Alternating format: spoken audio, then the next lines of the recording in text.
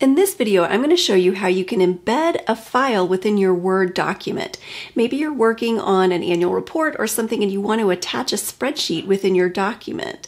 There are ways that you can do this without having to actually create extra pages of your document and then copy and paste the contents of that spreadsheet into your document.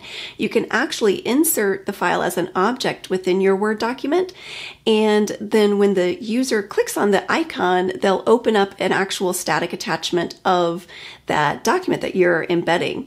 And there is a difference between linking and embedding a static document. I'm going to cover the difference between the two. All right, the first thing you have to do is open up your Word document and place your cursor wherever you want to insert this embedded file. And uh, come up to the Insert tab in Microsoft Word, come over to the text area and drop down where it says Object select object, and then come over here and click on the tab that says create from file. And we're selecting this tab because we're going to pick a file that we've already created and saved. And so then what we're going to do is browse and find the file that we want to attach in the document. And I'm going to navigate to where I have my document saved. I'm going to select it and click on insert. Now from here, we have an option to select this box that says link to file. Just know that if you select this option, then what it does is it'll embed an icon and the, when the user opens it, it will point to the source document wherever that source document is saved. If we leave it unchecked, which is what we're going to do today, we're going to leave this box unchecked because we want to actually attach a static copy of that file into the, into the Word document.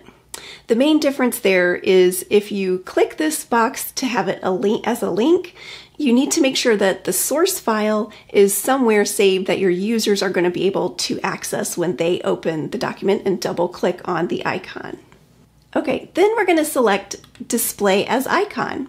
And so here we have an option to change the icon and we have a couple of different options here that will pop up. So you can select whichever one you like, whichever one that you think looks good.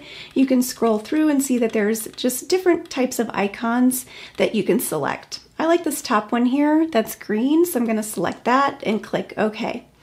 And then I'm going to click OK. And uh, Word is now embedding a static copy of that file, the Excel workbook that I have in the document. So this is exactly what it will look like.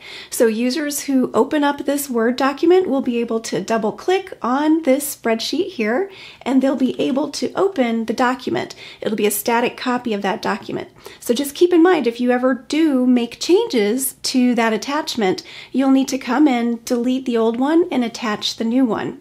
Where Whereas if you had linked it to the source file, whenever you make updates to the source file and a user opens the Word document, they would open the most up-to-date version of that file. If you found this video helpful, be sure and give it a thumbs up to like it, subscribe to my channel and click the bell to receive a notification every time I post a new video. Be sure and visit my website, SharonSmithHR.com. Thanks so much for watching, and I'll see you next time.